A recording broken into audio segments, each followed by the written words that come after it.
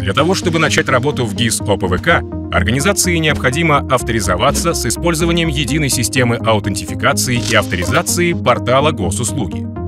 Для того, чтобы от лица авторизованной в ГИС ОПВК организации мог работать конкретный сотрудник, ему необходимо заранее назначить соответствующие права доступа в профиле организации.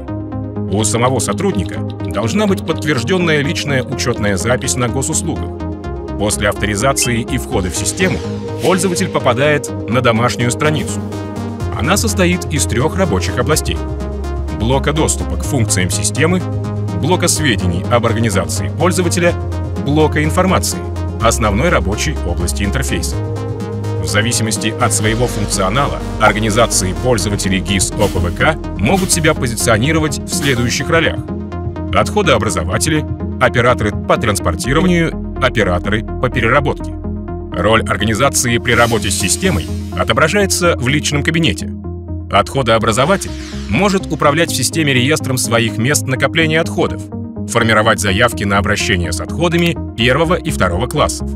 Например, для добавления в реестр нового места накопления отходов пользователям в специальную форму заносится географическое расположение, виды образуемых отходов, их класс опасности, режим работы организации, контактные данные и, при необходимости, фото место накопления отходов.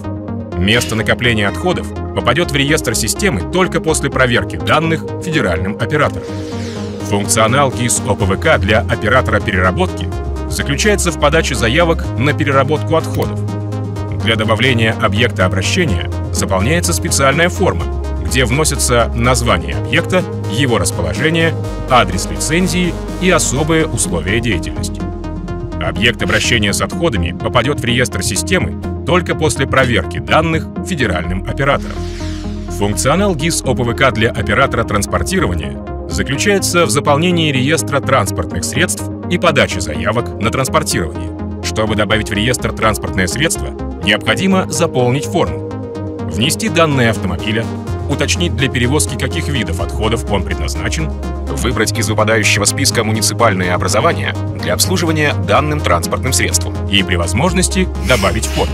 После отправки формы транспортное средство будет занесено в реестр системы только после проверки данных федеральным оператором. У пользователя есть возможность заверить данные электронной подписью.